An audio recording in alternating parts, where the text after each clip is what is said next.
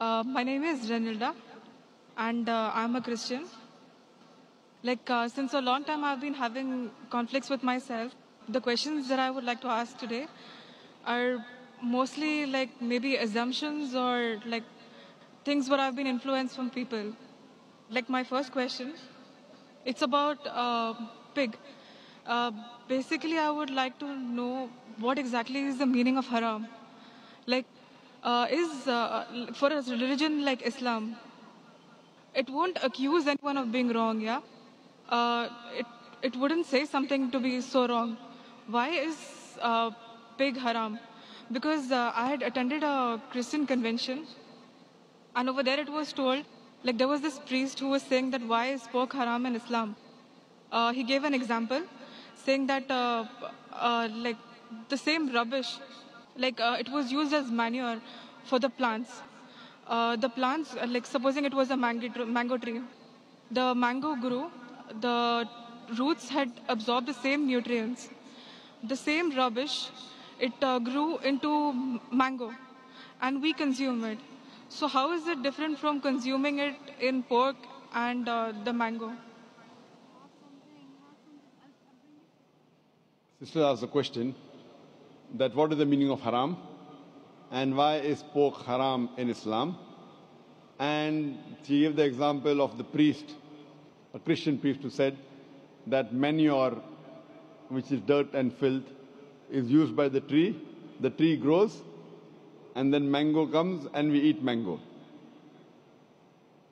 Trying to say that even if you eat the filth of the pork, it may be good for someone else, may not be good for others. That's what it means to say. So in Islam it's haram, but Christianity it's allowed. Sister, first I'll tell you the meaning of haram means prohibited, means forbidden. Haram in Islam means prohibited, it means forbidden. I will answer your question of the priest first, and then I'll come to the real reason why pork is haram. The priest gave the example that manure is supposed to be dirt and filth, is healthy for the tree, and when the tree grows, it gives mango and we eat the mango. Trying to say that maybe it's haram for Muslims, but good for Christians. If you compare the manure, which is filth for the human beings, it may be good for the plants because plants and human beings are two different beings. They aren't the same, they are different. But in Islam and Christianity, the human beings are the same. We may follow different religions, but what is good for one human being as a general thing is good for the other human being unless he has certain problems. For example, if he has diabetes, then sugar may not be good for him, but normally sugar is good. It gives you energy. Unless he has some problem, then it may not be good for him. But as far as general human beings are concerned, the rule for all the human beings, what is good and bad, is the same. So you can't give the example of manure is good for some and not good for other. What we have to see, we have to go to the guide. What does the guide tell us? And we'll try and analyze what does the guide tell us. The guide in Christianity, it is the Bible. The guide in Islam is the Quran. When we read the Quran, there are no less than four different places where the Quran says pork is prohibited. Allah says in the Quran in Surah Baqarah chapter 2 verse 173, in Surah Ma'idah chapter number 5 verse number 3, in Surah Anam chapter number 6 verse number 145, and Surah Nahl chapter number 16 verse number 115, Hurrimat alaykumul maytutu waddamu walamun khinzir, wama ghayril bi. Forbidden for you for food are dead meat, blood, the flesh of swine, and any food on which any name besides Allah's name is taken. So your Quran says in no less than four different places that eating the flesh of pig, pork is prohibited. Similarly, if you read the Bible, Bible in no less than three different places says pork is prohibited.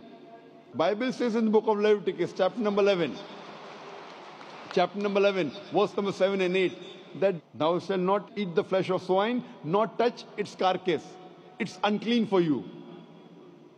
A similar message is given in the book of Deuteronomy, chapter number 14, verse number 8. Though the swine has cloven foot and it chews not the cud, it is unclean for you.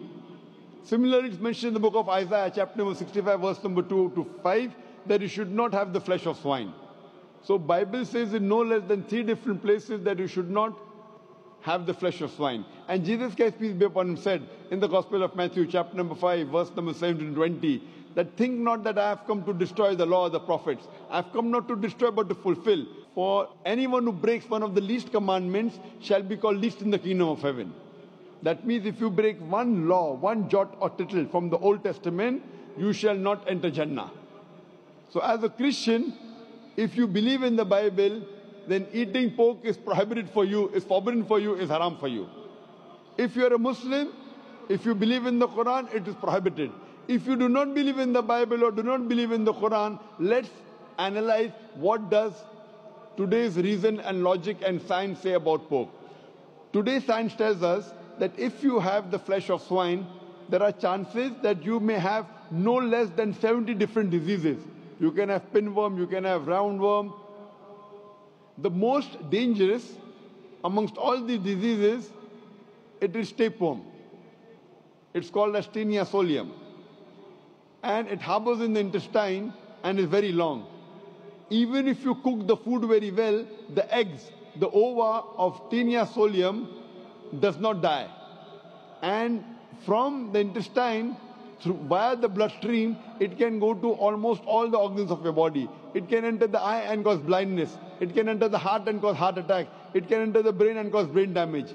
And by the time you realize you're suffering from the disease, it's an irreversible damage done.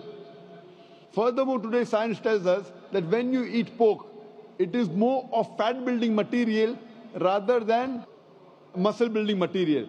That's the reason most of the people who are regular pig eaters, they have got tires, they have got flaps.